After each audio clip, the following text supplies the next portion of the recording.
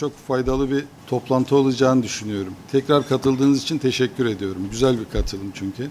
Ayvalık ilçesinin su sorunu hakkında kamuoyunun dikkatini. Son günlerde Balıkesir'in Güzide ilçelerinden Ayvalık'ın içme suyu ve altyapısı hakkında basın yayın organlarında gerçeklikten ve bilgiden uzak haberleri ve suçlamalara yer verilmiştir. Kamuoyunun doğruları öğrenmesi ve tarafımıza yapılan ölçüsüz ve haksız eleştirileri yanıt vermek amacıyla böyle bir açıklamayı yapmak zorunlu hale gelmiştir. İki aydır yürütmekte olduğum görevim süresince Balıkesir'imizin tüm altyapısına dair fizibilite çalışmalarını inceledikten sonra sorunlara çözüm olacak planlamaları yaparak yol haritamızı belirledik. Yaptığımız bu çalışmalar kapsamında altyapı sorununun en yoğun olduğu ilçelerden birinin de Ayvalık olduğuna tanık olduk. İlçe altyapısında üst üste yapılan eklemelerle adeta yamalı bohçaya dönüşmüş, ekonomik ömrünü çoktan tamamlamış ve her gün arızalanması kaçınılmaz olan 60 yıllık hatlarımız olduğunu tespit ettik. Geçmişte parça parça imalatlar ve günü kurtarmak için yapılan işler sebebiyle farklı çap ve tipte olan borular kısa zaman içinde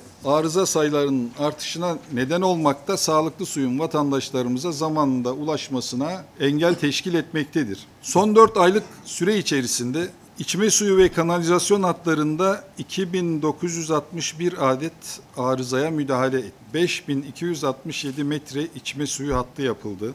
5600 metre kanalizasyon hattı yapıldı. 2041 adet vidanjör ve kanal açma hizmeti sağladık. 58 bin metre kanalizasyon hat temizliği yaptık. 14 adet adet de içme suyu depo temizliği yaptık. Neden Ayvalık'ta toplantıyı yapmadınız? Ayvalık'ta toplantı yaptım. Ayvalık'ta muhtarlarla yaptığım toplantının hangi köy muhtarı ne istiyor tek tek hepsi burada. 69 tane muhtar var. Onu iki günde 30-30 alacağım. Ben tek tek tüm muhtarlarımı dinlemek istiyorum. Tek tek ama. O köyle ilgili bir, o mahalleyle ilgili bir şikayet geldiğinde cevap verebileyim ya da o ilgili muhtar döndüğünde ha senin şu problemin vardı diyebileyim. Sayın Başkanımız seçildiği gün Büyükşehir Belediyesi'nde büyük bir pankart astı. 19 milyar borç nedir arkadaşlar? Baski'nin 4 milyarın üzerinde borcu var. 130 tane alacaklıya Baski iş yapmış, hak edişi olan 330 kişiye 6 aydır para ödenmiyor. 4 milyar borç, çekilen kredilerin faizleri, taksitleri ortada nasıl bir mali tablo var sizce? Yani ben bir imalat yapacak, 100 metre boru düşecek gücü hangi koşullarda bulacağım? E benim sabit giderlerim var. Gelirim belli. Arada korkunç bir uçurum var. Ben hangi parayla işte burada yaşayan insanların ihtiyacı olan hatları değiştireceğim. Hangi parayla yıllardır yapılmayan arıtmaları yapacağım? Yani zorlu bir süreç var. Bunun fazlasıyla farkındayız. Bunları aşacağız. Baski'nin suyun dışında başka gelir var mı arkadaşlar? Yok. Yok. Ben sizlerden, sizlerin ödediği su parasıyla yaptığım tasarruflarla bu şehrin altyapısını yapmaya çalışıyorum. Başka bir gelirim yok benim.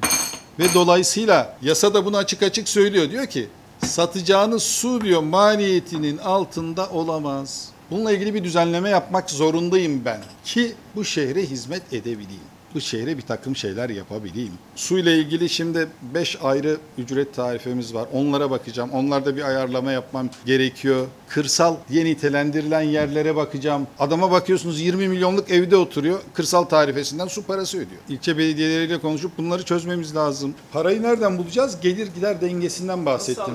Belli birikimlerin büyük yatırımlar yönlendirir değil mi? Alınan krediler. Zamanla bunlar azalırsa, işletme giderlerini düşürürseniz, gelirde de dengeyi sağlarsanız yatırıma tabii ki yavaş yavaş başlarsınız. Yani önemli olan gelir gider dengesinin en azından eşit olması. Benim gelirle gider dengem arasındaki fark ne kadar? 100 milyon.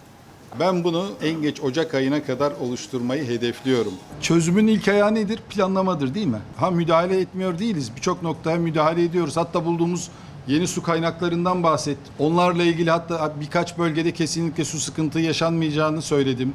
Ayvalık'a da aslında bu müjdeyi verebilirim ama biraz daha yoğurdu üfleyerek yiyorum. Niye biliyor musunuz? Çünkü hatlar gerçekten elek gibi. Su kaynakları öyle ya da böyle buluyoruz. Peki bu su eve konuta gidene kadar, aboneye gidene kadar yüzde 65'i 70'lik yok oluyor bunun. Biz eğer o hatları yeniden yapmazsak, o elek gibi olan yerleri yapmazsak, istediğimiz kadar yeni su kaynağı bulalım bir işe yaramayacak. Eğer biz basma hattı ile ilgili finans gücünü bulur, projeleri hazır, ne yapılacağı da belli. 3 tane hat var orada. 630'luk, 400'lük ve 350'lik. Bakın onu tek hatta düşüreceğiz. Tek basma hattıyla depoya ulaşırsak Ayvalık'ın hiçbir şekilde su problemi kalmayacak. Ben günü kurtarmak istemiyorum. Ben kalıcı bir şeyler yaratmak istiyorum. Çok ciddi finans gerekiyor bu basma hattı için. Orada bir de o tek hatta göre de depo yapmak gerekiyor. Yani birçok şey için ciddi finansı gerekiyor. Röntgenini çektik. Röntgenini çekmek çok kolay oldu tecrübelerimizden dolayı. Antrenmanlıyım ben. Yani ne yapmam gerektiğini iyi biliyorum da işte şu an ilk hedefim gelir gider dengesini oluşturup şeyler yatırıma başlayabilmek yavaş yavaş. Onu da sağlayacağım. Teşekkür ederiz. Çok sağ olun.